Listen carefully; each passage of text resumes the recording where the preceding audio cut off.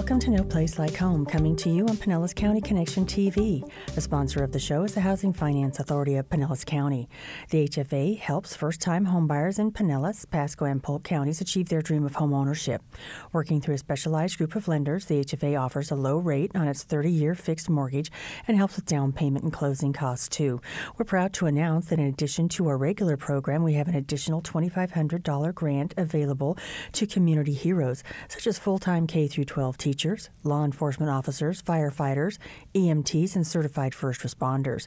Please visit our website, www pinellascounty.org forward slash HFA. For more information about our programs or comments about the show, give us a call 727 223 6419. I'm Karmen Lemberg, your host for today's show. Julian couldn't join us. It's my pleasure today to introduce Miss Patricia Latshaw. Patricia serves Wright Flood as Principal Flood Coordinator and Senior Vice President of Compliance and Agency Training. Patty has over 20 years' experience with the federal flood insurance program and serves on several NFIP committees. Patty's well known in the flood insurance community for her flood expertise and as an insurance agent advocate to the NFIP. And she holds the designation as an associate in national flood insurance.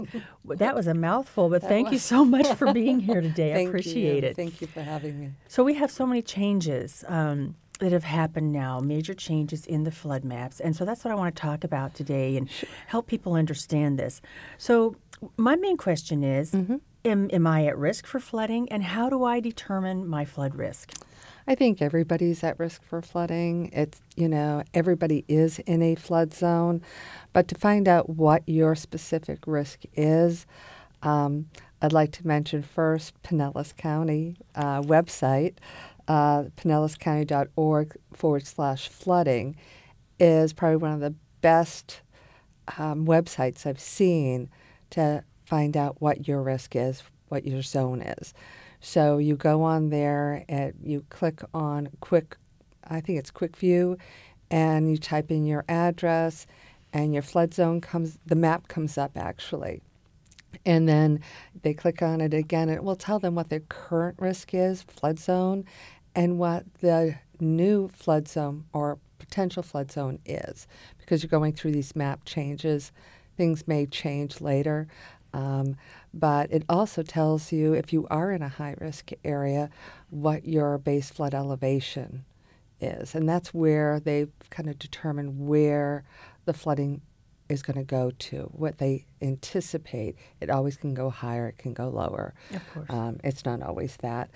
So we'll let them know, um, you know, A zones, V zones um, are your high risk areas. Okay. Uh, zones that start with B, C, or X, those are your moderate or what they call low risk areas for flooding. Okay. But everybody is in a flood zone.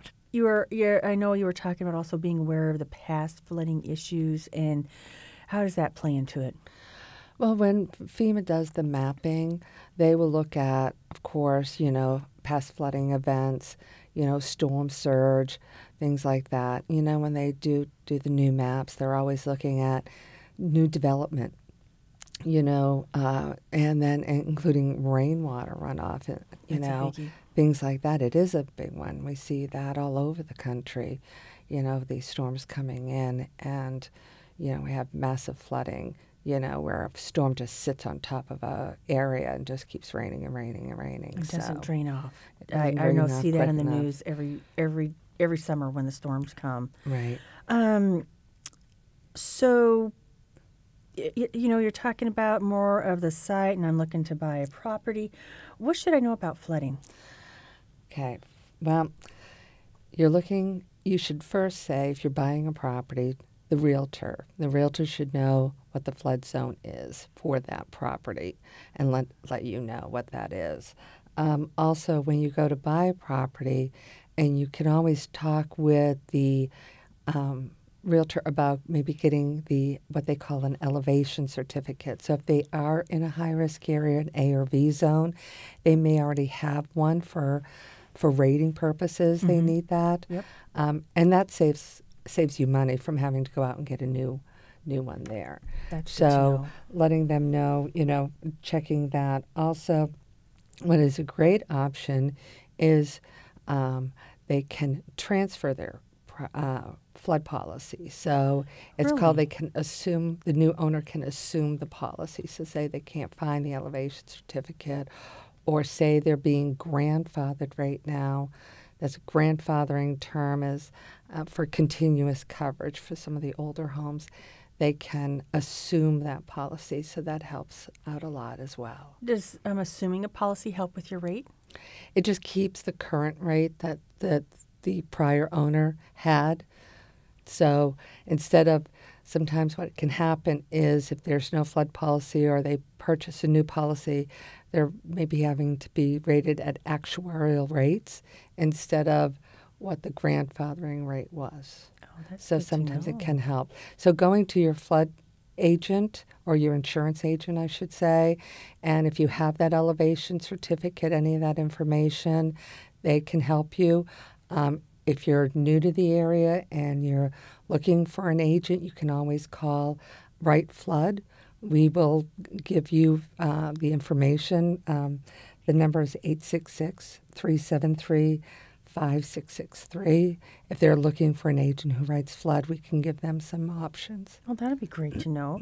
So many of the counties in our viewing area are going through all those revisions, and I know there's more information to know about those revisions. So, what should we know about those revisions and how they're affecting it? I know I, I was uh, talking to you before the show about how I've been trying to investigate some of this stuff, and I was getting a little confused myself Right. when I was looking at the different maps. So, maybe give us the the short view of what we can look and all that stuff. Um, FEMA has a website called floodsmart.gov.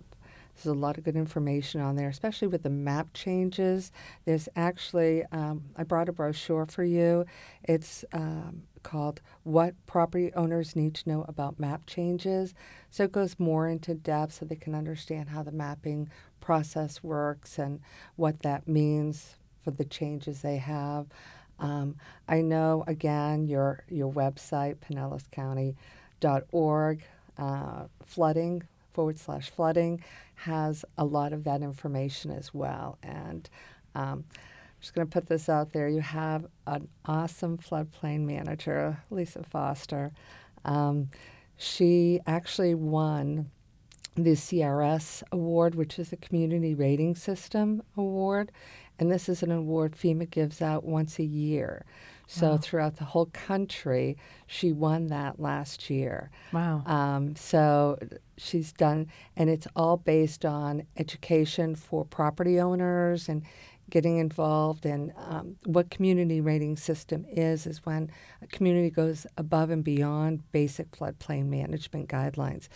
But the big, great part about it is Pinellas County is now rated as a class five in this, meaning that anybody in a special flood hazard area, they can get a, a 25% discount on their flood insurance premium.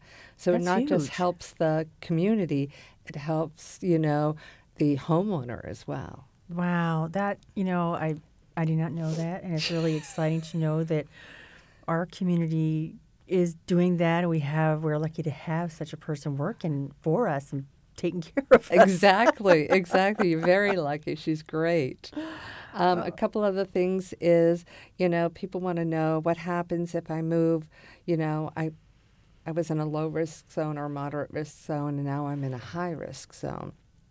And, you know, the good news is FEMA put together this. Um, it's called newly mapped, and it's a re- it's a reduced premium. It's discounted, so uh, they allow somebody to be newly mapped. Um, so they'll they can take care of that opportunity, you know, because they're going to be maybe concerned about going from a high risk, from a low risk to a high risk. That's exactly what I'm looking at. So that's Yep. good to know. It is good to know. So, um, but the big part of that is they must purchase uh, a flood policy, an NFIP flood policy, within a year of your map change Okay. to get to take advantage of that newly mapped.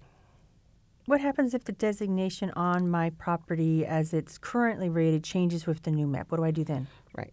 So Again, if it goes from a low risk to a high risk, you know, a lender's going to, if you have a federally backed mortgage, a lender's going to require flood insurance. Oh, they're going to So- know about the change. They're going to give me that little letter, do it or get forced placed. that's exactly it. Uh, and um, and again, so that's your newly mapped, where Okay. you can go into that. Now, if you go from a high risk to a low risk, then you want to look at you're still susceptible to flooding. You should keep a flood policy, but you get a refund on your current policy term when the flood map changes. Um, and you'll be eligible for a preferred risk policy as long as you haven't had um, prior flooding in the last 10 years. There's this, that eligibility to that. Um, and then say if you just stay in the same flood zone, you know, your base flood elevation may change. It's, you know, they're doing the coastal mapping, they're looking at that. So we see some that don't change. Some of the base flood does change. It might go up. And if it goes up, we talked about grandfathering before, you can keep that Okay. lower base flood for rating as long as you have that continuous coverage. Okay, that you makes know. good sense. And then if it goes down, then you get a refund too. I like that. so, you know, as a homeowner now, I spend an awful lot on my homeowner's insurance. At least I, I feel that I do. Um, so, do I really need to buy a flood insurance policy? I'm in a non-evac zone, um, 44 feet elevation, which in Florida, that's high. But um, so, do I really need it? I think you do.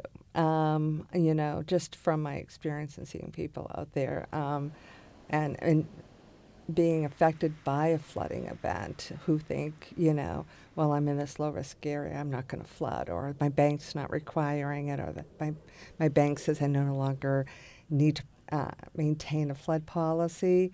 Um, you know, you, you're looking at a couple inches of water in your home. You know, you can look at twenty-five thousand dollars replacing your floorboards, things like that.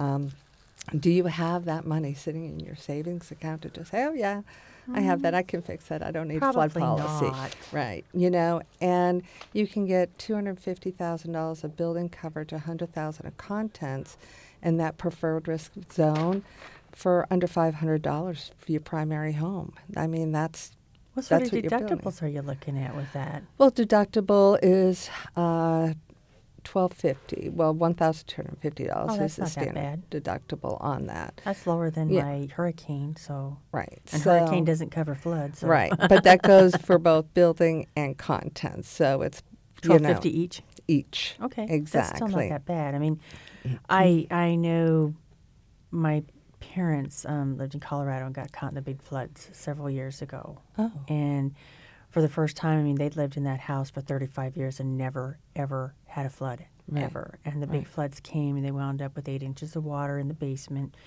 which was fully lived-in basement, destroyed everything, and the cost to have somebody come in clean that and then the mold started really really fast so it had to be you know treated and all that and it was outrageous Right. so like i said if they would have just had a preferred policy it would have really really helped a lot Would have helped. You know, there is limited coverage in a basement for flood insurance. Unfortunately, in Florida, there's not too many basements. which is good which is good. And on the deductibles, you know, there are other options for a standard policy. So, say if you are in a high risk area, you're not eligible for the preferred policy. If you are currently in that high risk area, there's limitation of coverage in enclosures as well. oh You know, because those are always going to be, or I shouldn't say always, most of the time going to be below the base flood. So there oh, is okay. limited coverage. But, you know, we see there's foundation elements that are covered under flood. So, you know, like in your parents' case, if they had damage to the foundation elements, they may have been covered as okay. well. that makes sense So it's always good to talk to your insurance agent about your deductibles, what you can do. But overall, you know, the cost of a flood policy. Um, I know a lot of people rely on disaster assistance, and they think disaster assistance. yeah it's not there No, I mean, FEMA. Ha- I mean, there is disaster assistance, and they do a- really great job right, but people think like you say right. oh, I'll just talk to FEMA. FEMA will take care of everything. Yes, Mm, yes. That's just not going I to happen. had my uh, my friend who flooded was like all excited about getting free money from FEMA, and then the next day came in and realized it's not free money. You know, Yeah. there is disaster assistance. I mean, the average uh, disaster assistance payout for Harvey, Maria, was Irma. Irma um, was five thousand dollars which is nothing. which is nothing. You know, it can it can go up. The maximum um, is thirty three thousand dollars. Very few people are eligible for that amount of money. And remember, disaster assistance, especially here in Florida, you know, um, secondary homes, Yeah, nothing. nothing. You know, businesses. It's it's so it's usually they have to go out and get a you know a small business association loan. So it's really it's really tough. Florida is unique. It is unique, and, uh, and I will say, you know, FEMA does have a booklet called "Summary of Coverage," Oh, good. and that can be found on the FloodSmart.gov website as well. You know, so it kind of gives you more idea of, of what the coverages are. Because that was my next question: is is what what sort of things does flood insurance cover? It covers anything that is it's your building that um, is damaged by a flood. So it's for building, it's the floodwaters is, has caused damage, or the floodwaters has caused, caused damage to your um, contents. You know, minus the deductible. That's the payout up to the policy limits. Um, but then again, there is limitations in those enclosures and um, covered in your basements. Because I guess I'm thinking, you know, always this, you know, this time of year when we're in flood season, you see all those Service Pro ads. You know, after the flood, we'll come in and clean everything up. Does it help cover costs for people like that to come in? And There is some cleanup um, Okay. available under the flood policy, yes. Because I know with my parents, it was all under the cleanup, and that was where I mean, it was really expensive. Yeah, because it, it can be. What else? Is there anything else that we haven't talked about? Um, I think we covered just about everything. We covered the websites. We covered all of that. Um, We do have um, it, something else is we put together a website ourselves. It's called um, rightfloodadvice.org. okay. And it's really geared to the consumer. So they have questions about flood insurance. You know, they should check that out as well. We do a lot of um, information. You know, we we train our agents to help insurers understand a flood. You know, their risk of flooding, their options of coverages, the cost of coverages. So you know, we put this together really for the consumer to look at and try to understand more. Flood Smart is great, but also your website uh, is very, very good. They do a, a fantastic job, I have to say that. That's so nice to hear. Yes. Well, Patricia, thank you so much. We have covered some great information today. It's so exciting. And now we're going to take a short break because I want to also have a chance to talk with uh, Lisa Foster about the Pinellas County website. So thank you again and have a Thank great day. Thank you. Thank you very much. Flooding is the number one disaster and can happen anywhere. Whether a few inches of rain fills your basement or you experience major flooding, replacing personal items, handling the cleanup, and repairing your home is time consuming and disrupts your life. Adding to an already stressful situation is worrying about the expense you will face putting your life back to normal. That's why purchasing flood insurance is so important. Most homeowners' policies do not cover flood insurance and can take 30 days for a policy to go into effect. So talk to your insurance agent, review your current policy, and discuss your specific requirements to ensure you have the coverage you need before a disaster strikes. No home is completely safe from flooding. Learn more at floodsmart.gov.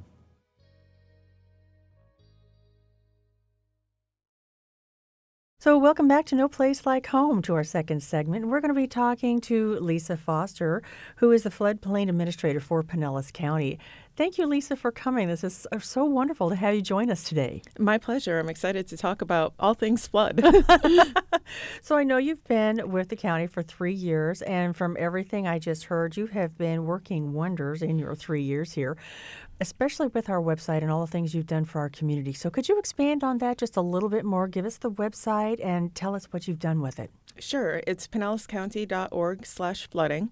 And when you go there, there's a main page with a whole lot of selections for topics. So you can basically pick whatever topic you're interested in, whether you want to go to the MAP Service Center or look at more information about flood insurance or ways you could protect your property, um, things you can do to get involved, how you could be prepared for flooding.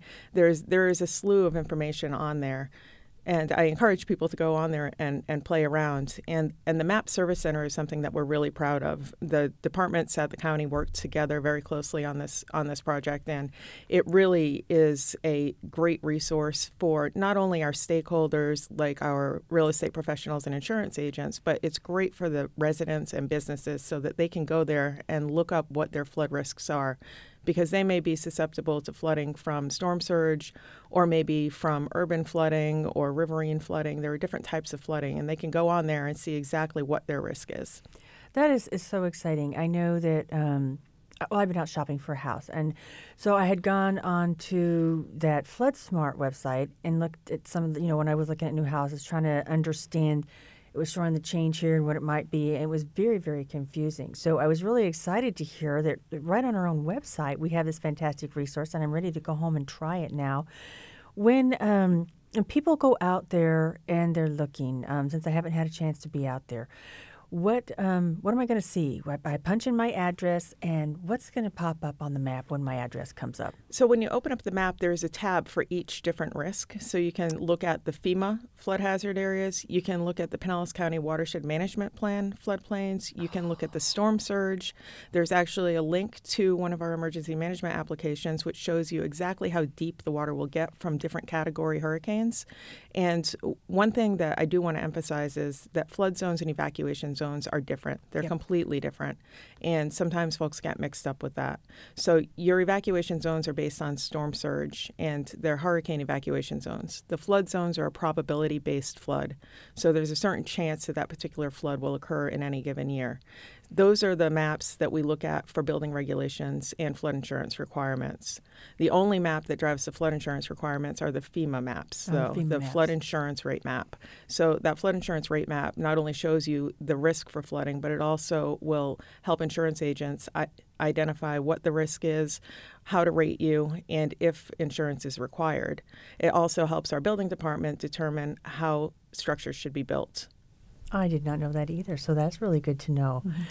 This this is just so exciting. Um, can you think of anything else that would be good to let our people know? I mean, even from a view of whether you're a citizen, whether you're a, a professional or a realtor, a business, where is there anything else they need to know to help get ready? I mean, we are in hurricane season right now, so this information is very timely, and I, I want people to know about it. Sure. We are actually undergoing a map update right now. Every so often, FEMA will update the maps. Our, our last maps, which are the effective maps right now, were developed in 2003 to 2009 range. Wow. So they started a project to update the maps. Flood risk changes over time as as things change mm-hmm. over time. We we get new development, uh, new roads. Um, we get better technology. We yep. collect better data of elevations. So they have remodeled the entire area and have given us what's called preliminary maps. And we do have a tab on the map service for preliminary maps, so folks can go on there and look at what their current risk is and what the preliminary risk is about to be. And those maps will become effective probably sometime next year. We don't have a set okay. date for those yet, but I encourage folks to go and look up what their map change is and contact their insurance agent to make sure that they lock in the low rates while they can. That was yeah. Do it now before the change comes in. Now, when they're looking at reevaluating and changing these these maps, are they taking into account like the hundred year flood zones, correct, two hundred to five hundred, um, and and see where we are kind of in a historical perspective coming forward? So, okay, now we're coming up on a two hundred year time period. Now we're coming up on the 500 year time period, and, and are they incorporating all of that into the map? Yes, that's part of the more updated data that they use. It's updated weather data. So they take all the more recent storms. Good. The original coastal modeling, this is actually a coastal update that they did. So the original coastal modeling was done back in the 70s, and it was improved upon later, but it hasn't had a whole revamping. So we have new bathymetry data, we have new LIDAR data, we have new weather data based on current storms. So all that information went into new and improved models as well. And I always use the example think about your t- telephone or, or your television back in the 70s compared to where we are now. compared to where you are now, exactly. So we anticipate that these, these preliminary maps, which will effective, become effective at, at some point, will better reflect the current risk. That is so good to know. Any last minute information you'd like to throw out there? I just encourage all of our residents to find out what their risk is and make sure that they prepare accordingly, whether that's getting a flood insurance policy or raising their AC unit, whatever it might be. I encourage them to visit the website and make sure they are prepared. Oh, wow. That is so great. Thank you so much for joining us. I, I really appreciate it. So that's uh, it for today's show. I'd like to thank our guests um, Lisa Foster, the floodplain Administrator with Pinellas County, Patricia Latshaw with Wright Flood, and of course, Pinellas County Communications Department. We look forward to having you join us next month. If you missed any part of this show or you'd like to view past shows, check out our website or catch us on YouTube. I'm Karmen Lemberg. Thanks for joining us and make it a great day.